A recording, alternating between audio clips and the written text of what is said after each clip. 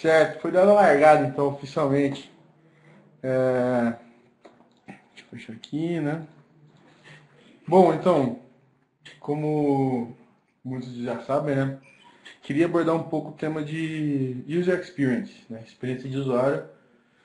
Só que com um viés um pouco, um pouco diferenciado. Porque a gente se preocupa muito com interação, wireframe, e a gente esquece que essa experiência é muito maior do que onde o cara clica o tamanho da sua página. É, então, queria abrir a mente da galera, principalmente se você tem um e-commerce, você pretende ter um dia, tem muita coisa que tem que ser analisada antes de começar a construção do seu site mesmo. Mas vamos, vamos devagar, né? Que primeiro me apresentar. Meu nome é Thales, Thales Batista, eu sou graduado em design gráfico na SPM. É, me formei em 2013, faz um tempinho já, e mas sempre trabalhei com design e comecei no, no campo do, do web bem cedo, na verdade, estava na faculdade ainda, estagiando, mas já fiz outras coisas. Trabalhei com editorial, já fiz também alguns bicos de vídeo e 3D. Mas, querendo ou não, a, esse ramo da web me atrai bastante, que é muito rápido, muito dinâmico e feedback é muito. Esse feedback instantâneo é uma coisa que me deixa muito engajado assim, com a área. Tem meu contato aí, se vocês quiserem, estamos tamo aí. Precisar, só ligar, manter um Skype, estou sempre aberto. E bora lá. Começando com o conceito básico né, de UX, que nada mais é do que o próprio termo já diz, né? User Experience. Então, que nem a Whitney Hess diz aí, muita gente acredita que a usabilidade, a experiência, vem só de encontrar a melhor solução para o seu, seu usuário, né? para o seu cliente. Mas, na verdade, não é. É uma coisa muito mais ampla e a experiência dele é, com o seu site, com a sua marca, começa bem antes dele entrar na sua loja. Por isso que é uma coisa bem é, delicada. Tem que ser vista e tem que ter um cuidado especial, principalmente se tratando de, de inovação e de sites novos. É, e aí, vendo, tava vendo o panorama, né? Navego bastante para pegar referências, eu gosto de, de ver coisa nova, né? Fico sempre entrando nos sites e também compro bastante online, né? Querendo ou não. E aí acabou que comecei a perceber uma certa uma tendência, vamos dizer assim. E eu acredito que isso acontece bastante, né? Então, conforme o mercado vai evoluindo, a tecnologia vai avançando, as pessoas tendem a seguir para um, um rumo, para uma direção comum, vamos dizer assim. E é uma coisa que me preocupa um pouco, porque como você, alguém faz alguma coisa, testa e vê, dá resultado, a tendência realmente é a galera deixar isso um pouco de lado e começar a seguir, né? Virar um seguidor de, de tendências e de, de, de, design. Então, acaba, muita coisa acaba se perdendo nessa, nessa evolução de performance, né? Evolução tecnológica. Então, estava vendo que muitos sites são muito parecidos. E isso me incomoda um pouco porque muitos desses sites são referências para muitos outros sites, muitos que a gente, sites que a gente faz aqui no Next também acabam vindo de algumas referências desses desses templates, mas pessoalmente eu acredito que precisa de personalidade, não é só as pessoas como estão evoluindo cada vez mais e a interação das pessoas com as marcas e com as lojas está cada vez mais intrínseca, né? Então, esses conceitos de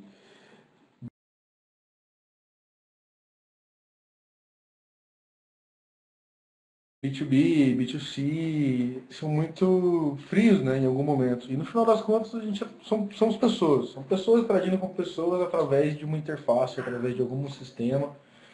E isso não pode ser perdido. Então, acredito que a gente não pode perder nossa personalidade, personalidade da sua marca em prol de performance, em prol de ROI. De ROI até que, até que né, às vezes pode ser interessante, mas é, pessoalmente acredito que a personalidade agrega e isso vai ser um diferencial quando você estiver medindo seus KPIs.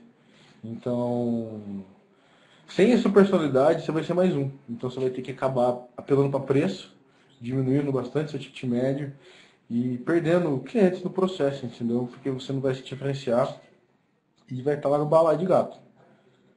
É, pensando nisso, é, separei algumas, algumas experiências que eu acho bem interessante de de user experience e alguns conceitos também. Então, a ideia agora é a gente ir um pouco além do wireframe, né?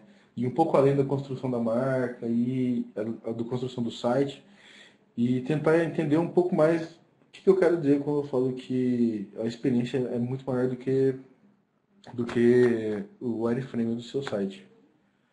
Bom, primeiro exemplo é essa, essa loja, chama Didio, acho que estou falando certo, não sei, mas eles têm um lance que ajuda bastante, né, que é o fato deles terem só um produto. Então, toda a navegação do site direcionada para esse produto. Então, quando você vai entrando, eu separei os links, pessoal, só para fazer um parênteses aqui, que estão aqui no Codebox. Vou até copiar aqui na, no chat para vocês, para vocês poderem ver também, porque falar de experiência através de, de, de, uma apresentação é um pouco complicado. É diferente quando você está realmente vivenciando. Então segue aí para vocês verem. É, o, a navegação desse site conta uma história. Então, a experiência vem através dessa navegação. É, você vai ver o seu produto ali de cara e o intuito aqui é você poder customizar, poder brincar, você consegue mexer no, no ângulo da foto, da zoom. É, é uma experiência bem diferenciada e consegue valorizar bastante o produto que é uma coisa muito boa, até porque tem um produto só.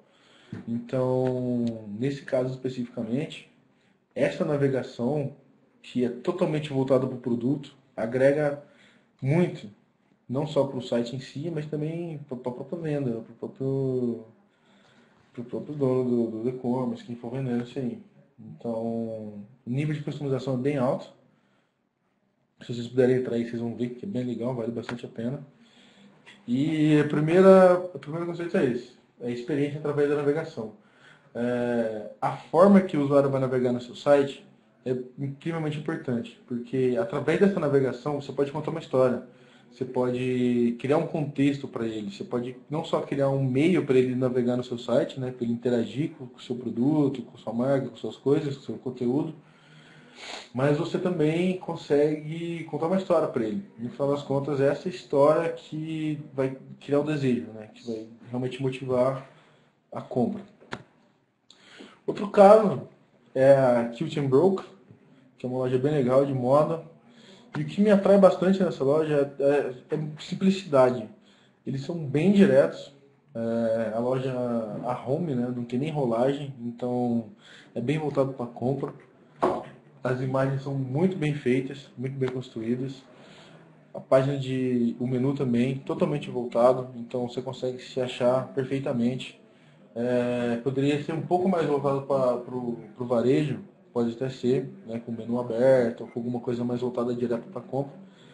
Mas quando você começa a navegar, todo esse contexto te leva a cair numa página de categoria, numa página de produto.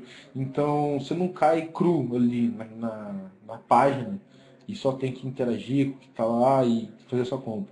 Toda essa pré-navegação antes de chegar no produto, se você quiser, você pode ir direto comprar, né? Tá, viu, gostou, que é o ideal, né? Criou o desejo, comprou. Mas esse contexto, através dessa simplicidade, eu, é muito interessante para mim. O site ele é bem minimalista, ele não tem tanto. não tem tanta volta, né? Você consegue comprar de uma forma rápida e fácil e prosseguir para o checkout também com a mesma facilidade, que eu gosto bastante, esse, ser direto dessa forma, assim, como linguagem, que é uma coisa bem interessante. É, então, a experiência através desse minimalismo que é bem direta, uma experiência direta, que é voltada para o pro produto, né? Voltada para o seu conteúdo. Isso pode fazer uma diferença grande na hora de, de colocar seu e-commerce no ar. A outra, que é muito importante, é talvez uma das mais importantes para o e-commerce, que é a foto.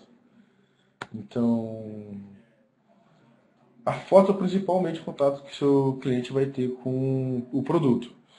Vale muito a pena investir nisso. É uma, a parte mais importante da experiência, querendo ou não. É, não ser que você tenha outros métodos né, de, de mostrar seu produto com vídeo, até aquele primeiro exemplo da, que é um 3D da faca. Mas, se não for o caso, gasta sua grana com a foto, porque, querendo ou não, uma foto boa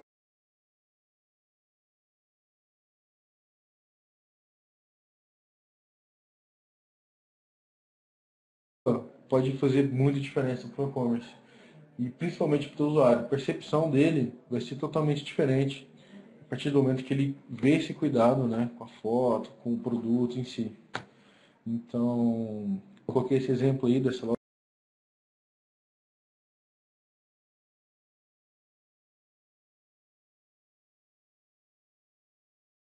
loja Ai, Ai, que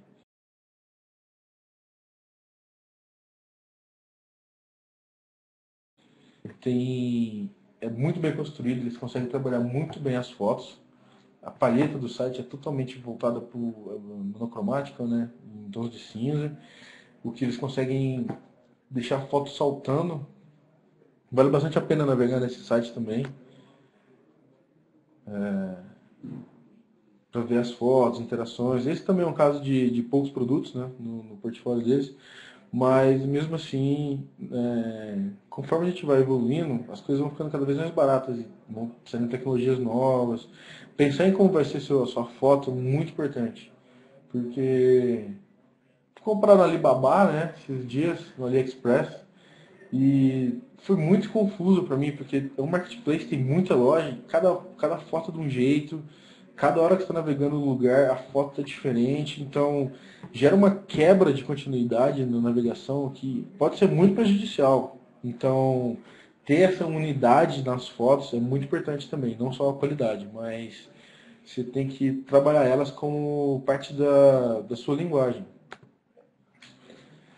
É, fotos com qualidade, fotos tem que ser grande também, que é muito importante, o zoom é muito importante para quem está comprando. Então, é, vale a pena colocar uma foto bem grande, mesmo que ela não seja fique na cara logo ali na página de produto, na categoria, mas tem que existir essa opção.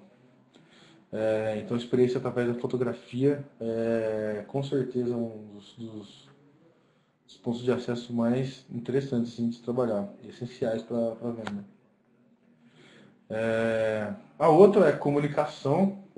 Então, a forma que você vai falar também é muito parte da experiência, né? As palavras que você vai usar, a foto que você vai pôr, a disposição dos elementos na página. É... Isso é muito, muito valioso, porque é através dessa comunicação que você vai criar um laço com o teu cliente, né? com o teu usuário.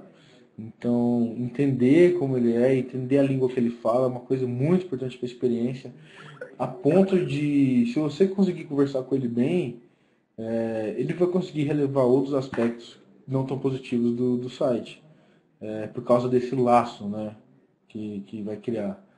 Então, vale a pena ser estudado, vale a pena se entender do seu público, e vale muito a pena você segmentar e atingir exatamente quem que você quer atingir.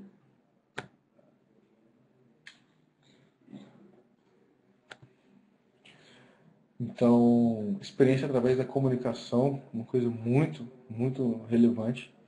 É, não só dentro do site, isso que é uma coisa muito importante, mas até como você vai levar o usuário para o seu site, você tem que ter muito cuidado com essa comunicação. Porque hoje o nível de impulso que nós temos durante o dia, durante todos os momentos, é absurdo. Então, a gente está sendo bombardeado por inúmeras coisas durante todos os momentos. Você pode abrir o seu celular, você vai ter lá um, um banner, vai ter lá alguém querendo te vender alguma coisa. Então, acertar essa linguagem não vai só manter a pessoa no seu site, como vai levar muita gente para o seu site. Esse cuidado com a comunicação é incrivelmente importante. E o último um desse conceito assim é, é o storytelling. Então, contexto, né? Você tem que dar o material pro cara, tem que dar um insumo para ele. Porque a experiência não vai vir só do, dessa navegação, da foto, de tudo. Você pode ter uma foto animal. Se ela não tiver, se ela estiver solta no fundo branco, ela vai, vai ser só uma foto. Então, contar essa história vai agregar bastante. Tava falando sobre o B2B, B2C, né? Eu fui numa palestra no passado é, e o cara soltou um conceito que eu achei bem interessante, né? Que é o, o age to age, H para H, que ele fala que é human to human, né? Então, no final das contas, a gente não está fazendo as coisas por robô, né? A gente não está fazendo as coisas para ser simplesmente ser melhor, ser mais rápido, ser mais eficiente. Contar essa história, às vezes, agrega muito mais valor do que você ter uma compra com um, um clique, entendeu? Você vai dar todos os meses para o cara comprar, mas ele não vai querer comprar, no final das contas. É...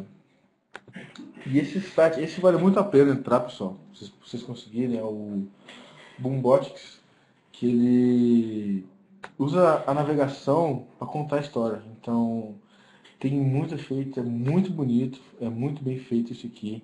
É, através da rolagem, as coisas vão acontecendo, você vai descobrindo o produto. Então, é muito interessante.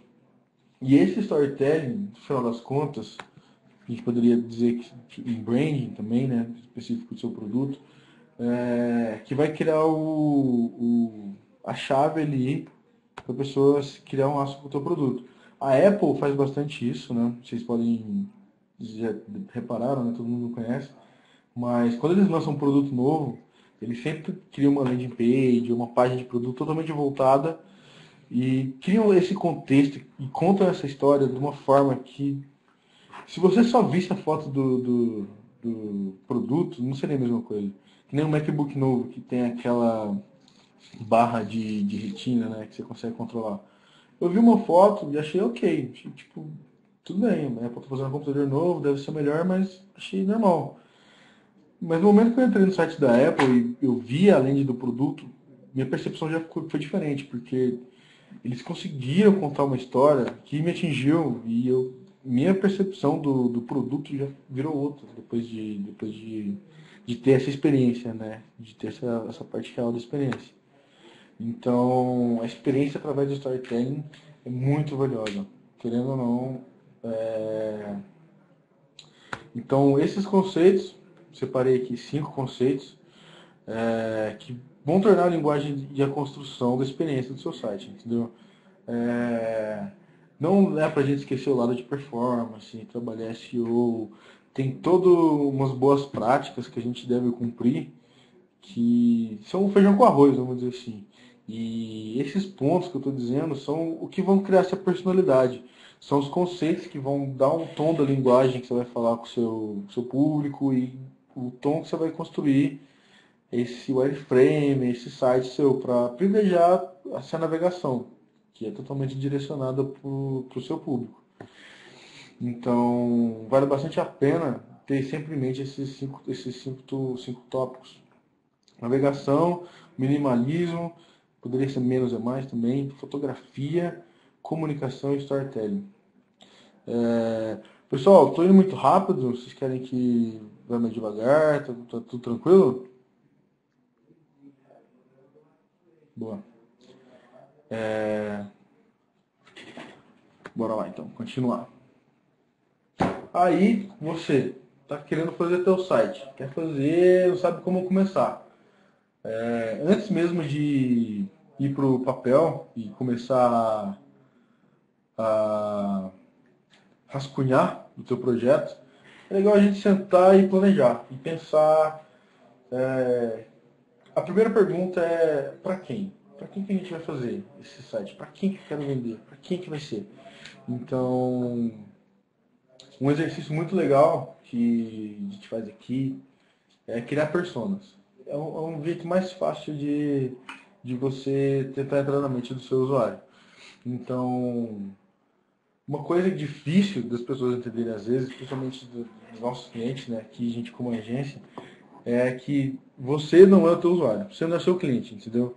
Você pode ser o perfil, mas a partir do momento que você está querendo vender, você já não se, se adequa como, como possível usuário.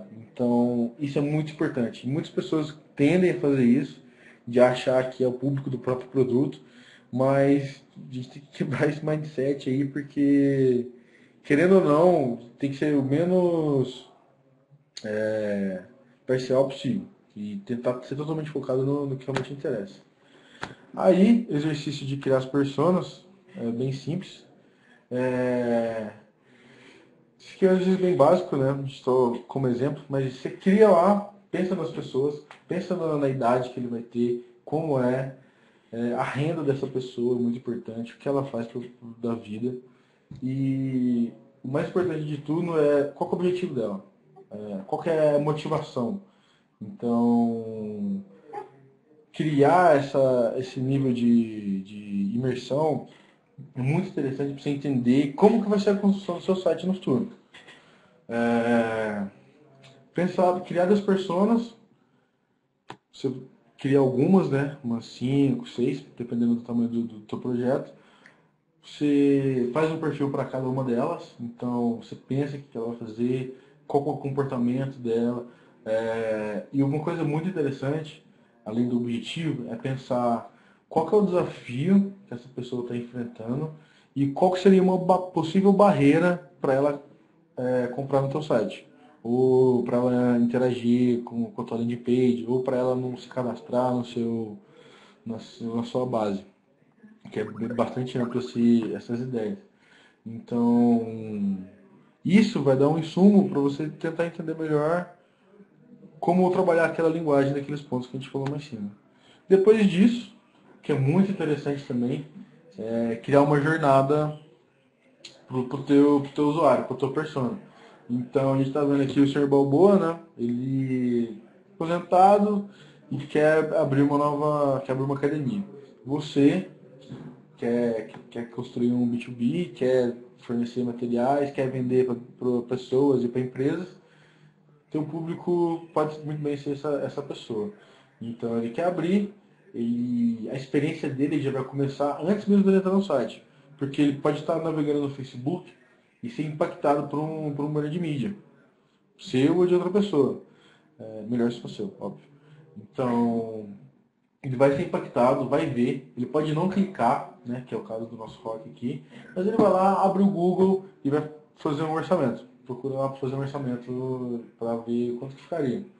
Ele faz esse orçamento, é, tudo experiência. Vai ter lá do Word, isso tudo faz parte. Comunicação que a gente falou, como que vai estar escrito o seu texto.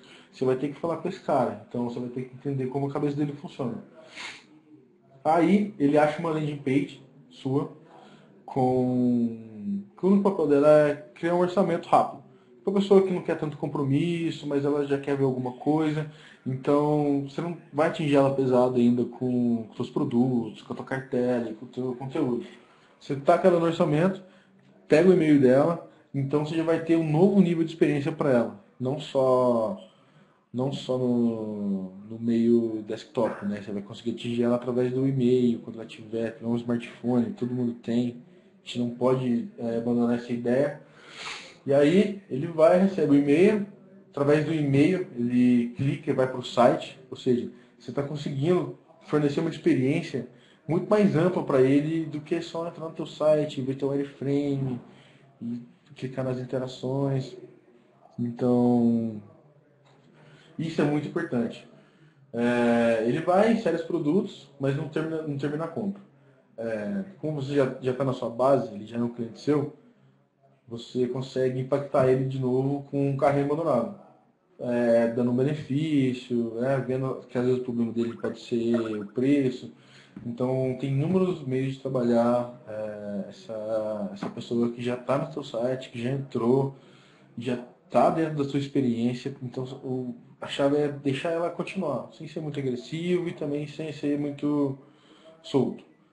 É, ele vai, clica, termina, depois disso ainda vai receber os e-mails transacionais, que é muito importante é, a experiência dele não termina na compra, que é uma coisa que, que alguns e-commerces pecam, né? Que é achar que depois que termina a compra ele já, já, já não faz parte mais do ciclo, né? Mas a ideia é exatamente essa, a experiência ser contínua. Então, manda conteúdo para ele, sabe? Deixa ele interagir com você, não só no momento da compra dele, porque aí a chave é você ter você está na cabeça do teu usuário. Então, esse exercício é muito bom para você entender como construir, seja o que for, seja tua landing page, seja teu site, seja teu, teu, teu newsletter, seja opt-in, enfim. E aí, queria falar com vocês também, passar dessa parte, a gente cai direto no caderninho, né? E começa a, rabiscar. E aí, dessa fase de brainstorm, é, é sem dó. Vale tudo. Pense em tudo. Vê a viabilidade de tudo, conversa com o teu desenvolvedor, cria a melhor experiência possível para o ideal, né? Cria aquela experiência ideal, sem erro, você conseguir realmente valorizar o que você quer mostrar para o teu, cliente. É, isso que vocês estão vendo foi o processo criativo da Farm que a gente fez aqui. Vou falar um pouco sobre como foi. Então a gente fez aquele processo de público, né? Sentamos todo mundo, estudamos uh, as farmetes, né? Como, como são chamadas. E depois de entender como essa pessoa, o que ela gosta, como que ela navega, quais outros sites ela navega, né? experiências correlatas dela, a gente partiu para o planejamento do site mesmo. Aí fomos planejando, juntando as ideias, conversando com os programadores chegamos ao ponto e falamos assim, não, beleza. Vamos começar agora a, a realmente produzir os wireframes, as interações e o, o nosso entregável no final, né? E aí, no final do processo, quanto mais imersivo for, com certeza mais completo vai ser para a navegação do teu usuário. É, no final do processo, a gente saiu com mais de 244 telas para farm, pensando exatamente em como seria a experiência dele se tivesse, ah, se entrar no mobile, ah, quando ele vai receber e-mail, ah, se ele quiser receber menos e-mail. Então, rodeamos essa, essa persona de, de interações e interfaces que ela conseguiria dar o tom da navegação dela. Eu acho que esse foi o mais importante para esse projeto da Farm.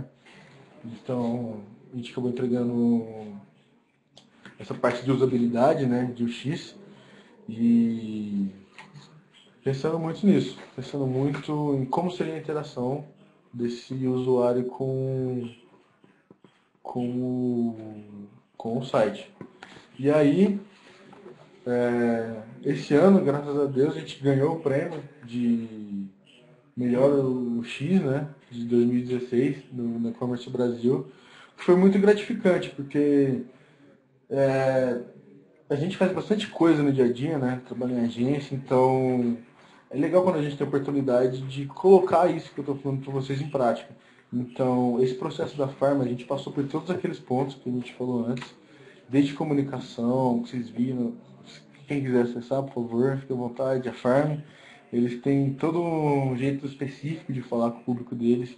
É, nós pensamos, repensamos todas as fotos, é, pensamos também como ia ser as interações, pensamos como ia ser todo o processo de storytelling da marca, né, que tem um lado muito rico de, de conteúdo, tem blog, então é, foi a junção de tudo isso que, que no final das contas agregou nesse, nesse produto final, que acabou sendo premiado. Então, acho que o que eu estou querendo dizer, no final das contas, é vale muito a pena é, sacrificar algumas coisas em troca de, de, ter mais reconhecimento, né? de ter mais personalidade, em troca de ter uma presença mais forte né? digital.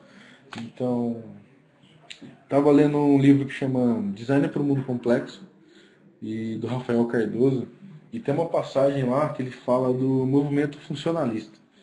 E essa galera do movimento funcionalista tinha uma ideia muito simples que era é, tudo tem um, uma forma perfeita. Então, a chaleira ia ter uma forma perfeita, a cadeira também ia ter, e consequentemente o site também teria, se fosse nessa época. Né? Foi dos anos 30 aos anos 80, mais ou menos, essa, esse movimento. E eles acreditavam que ia chegar um momento que não ia dar mais para a gente evoluir na forma das coisas. E graças a Deus esse movimento caiu, né? foi destroçado praticamente pelo, pelo, pelo, próprio, pelo próprio público. Né? O nome do livro é Design para o Mundo Complexo. Vou escrever aqui para vocês. Ó.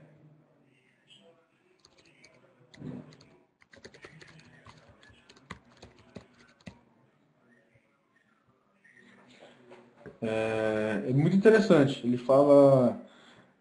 Esse, o Rafael Cardoso ele escreve bastante sobre o tema de design, né? mas ele não é um designer. Então, a linguagem que ele usa é bem didática, vamos dizer assim. Então, qualquer pessoa pode pegar e aprender, porque tem bastante coisa interessante.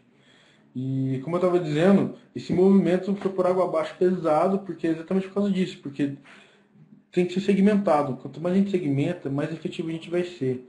É, são essas pequenas características da personalidade que vão dar o tom do, de como vai ser a relação do teu usuário com, com o que for, com o teu produto, com o teu site, com, com qualquer coisa. É, e hoje a gente vê bastante isso, né? Tem inúmeras formas para, em vez de ser cada vez mais massificado, é cada vez mais personalizado. É, a gente vê muito isso em CRM também. CRM trata bastante esse lado de de tratar a pessoa como se ela fosse única, né? Dar essa sensação para ela que ela é diferente das demais, né? É, a ideia é exatamente essa, a gente conseguir cada vez mais atingir a pessoa em si, não o público, né? Bom, aí, tendo isso em vista, separei aqui três dicas é, para você que vai criar o seu e-commerce, ou já tem o e-commerce, então vale para todo mundo isso primeira delas é feedback. Cara, feedback é vida, é muito, é muito bom. Os melhores insights que vocês vão receber vão vir dos seus usuários, né, dos seus clientes. Então, muitas empresas hoje já trabalham com algum canal específico só para isso, né, para ter para ter uma voz com o cliente, né, para ser ouvido também, para perguntar como é que estão sendo as coisas. É, esses insights, esses feedbacks, podem evoluir muito a forma do site também, não só os processos em si, né? Então, vale muito a pena vocês ficarem muito atentos a esse feedback, não só dos seus usuários, né? mas também de outras pessoas, né? de, de quem entende, de profissionais, esse feedback é uma coisa muito valiosa. A segunda é teste. Então, tá na dúvida, testa, no, que aí não tem erro. Então, a gente é muito a favor do teste, muito do, do conhecimento que a gente tem é, vem de teste AB, vem desse, desse lado empírico, né, de, de, testar alguma coisa. E é importante ter em mente que o teste é infinito, né? Você nunca vai parar, você sempre vai estar recorrendo a ele de alguma forma. É, você vai conseguir otimizar bastante seu site através desse teste. E o melhor de tudo é que você consegue pegar o feedback do teu cliente e transformar em teste, entendeu? Você consegue é, evoluir de inúmeras formas esse, esse lado do, do, do, teu site. E o melhor é que você vai ter dados, né? Hoje a gente fala muito sobre dados, né? Big Data. Então, quanto mais voltado para dados, melhor. E a terceira, que é bem importante, que a gente estava falando lá, que é sobre o Dark Patterns, né?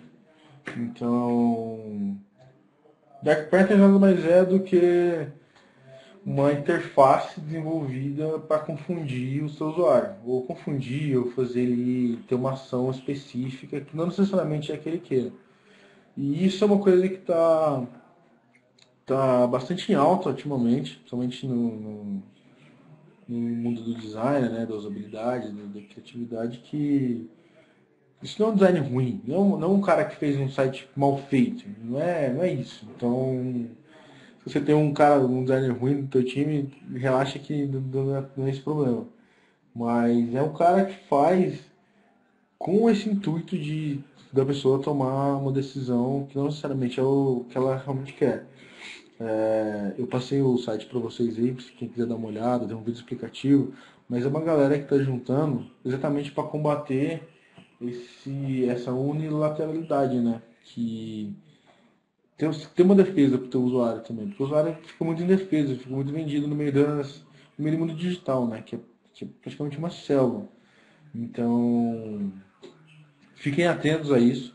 O Google já está punindo, né? Já está penalizando bastante é, principalmente no mobile, né, com algumas interações e pop-ups, isso tudo gera uma penalidade, que eu acho que é justo, né, porque, querendo ou não, é, o usuário precisa de uma defesa, precisa de uma barreira, porque senão, dependendo do, do, do mundo da e-commerce, a gente vai. O cara vai clicar no produto e já compra. Mas vale a pena ficar atento. E aí, galera, aproveitar junta tudo isso que a gente está falando, monta o teu e-commerce, é, constrói a tua linguagem, faz o teu teste, vê o feedback das pessoas, fique atento para a pessoa não se sentir é, trapaceada, né? Que ela acha que você está querendo confundir ela, porque a percepção disso é muito baixa, a experiência vai lá no chão e vale muito a pena. Isso tudo, isso tudo que eu estou falando, tenho certeza que vai dar retorno é, vocês podem testar, podem ver. Grandes sites, marcas muito fortes hoje trabalham justamente com isso, fazem exatamente esse processo e para construir essa personalidade, né, para ser lembrado, para ter alguma coisa. Muitos marketplaces também, a própria Amazon tem esse esse viés, né, essa mentalidade de voltada para teste, voltada para para todo esse para essa inovação, né, de não só de linguagem, mas também de tecnologia, que é muito legal. E aí, tá acabando já, pessoal. Foi bem rápido, né, no final das contas. É, queria só mandar uma última mensagem, que é do, do meu professor, na verdade, ele sempre falava isso. E falava que a matéria-prima do design é a cultura.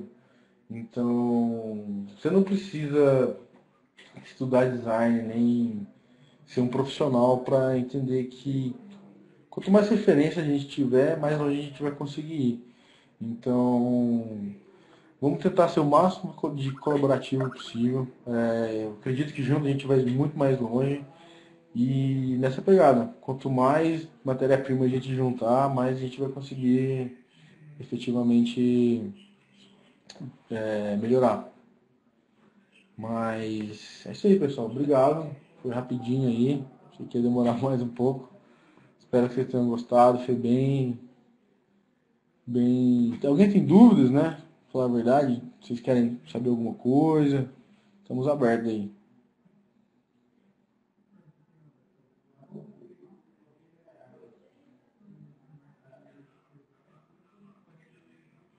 Que é isso, eu que agradeço, pessoal. Foi demais. Vou meter um somzinho aqui de novo, então, né? Porque a gente já queria aquele, aquele lobbyzinho para ficar mais tranquilo, mais solto.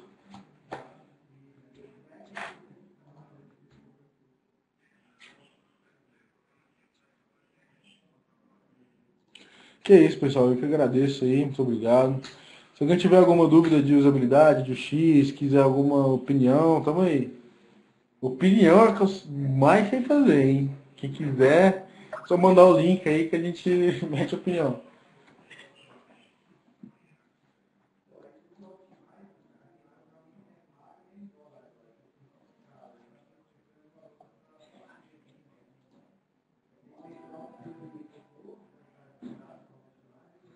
Valeu, pessoal. Valeu, Adriano, Roberto, Elaine, Maria, Wesley, Vitor. É...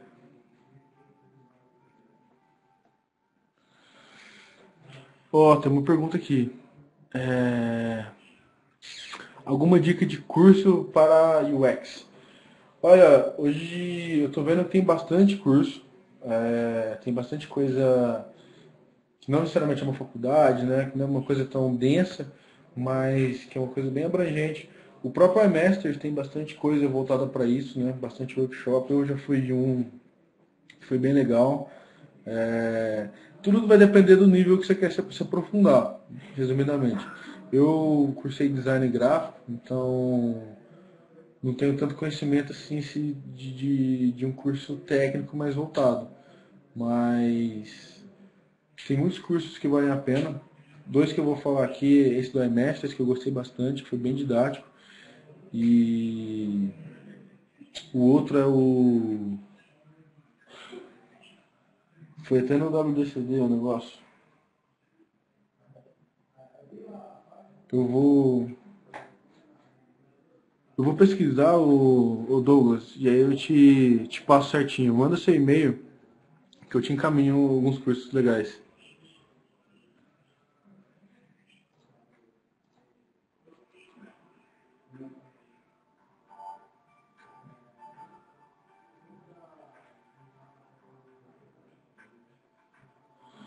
Ó, oh, tem uma pergunta interessante aqui. É...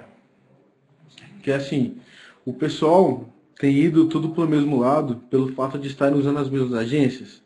E as agências adotam um perfil de trabalho e desta forma não customizam? É uma pergunta muito boa e, cara, com certeza isso, isso acontece. É, as agências ela tem que ter um, um olhar, né, de olhar para si mesma, tentar mudar, mas eu acredito bastante que a culpa não é só da agência. A culpa vem muito do cliente também de, de não dar essa liberdade, às vezes, e da agência não querer fazer. É, eu acredito que precisa estar todo mundo junto para a gente realmente construir uma coisa legal. É, a tendência das agências é adotar, fazer uma metodologia, né, criar alguma coisa, mas tem que ter customização, a gente tem que pensar muito nisso, que é o que, que realmente vai dar o resultado final. Mas o principal objetivo desse webinar também é exatamente esse, da gente tentar abrir um pouco a cabeça para essas novas possibilidades. É... Ó, tem mais uma pergunta aqui. Existe algum canal no YouTube com dicas diárias?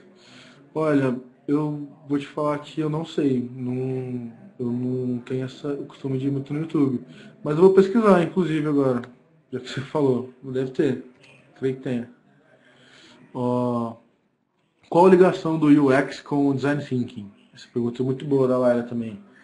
É, querendo ou não, as, as faculdades do design elas tendem a, a ser um método de pensar, né? Elas é, querem não só te ensinar a fazer alguma coisa, mas ter um pensamento evolutivo interessante.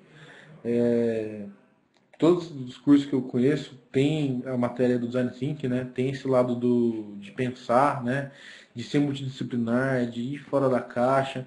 Então, eu acredito que é muito importante a gente fazer a ligação direta do design thinking com o UX, com certeza, porque é esse pensamento, né? Da gente construir da gente não só pensar no que a gente vai fazer, mas nas interações, mas e em quem vai mexer com o teu produto, ou com os teus serviços, ou com o teu negócio, e traduzir isso para a experiência dele.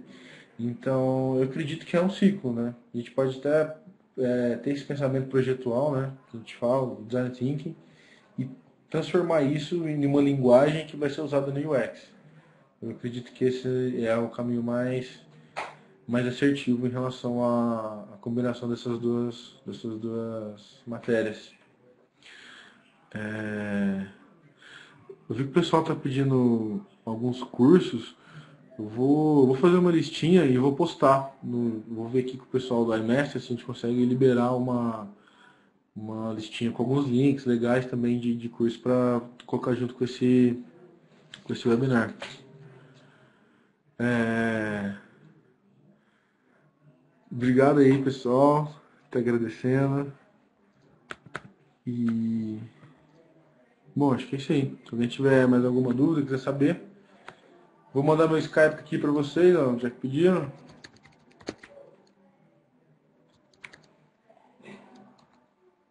Só adicionar lá que a gente tá na, tá na área. DJ, muito som.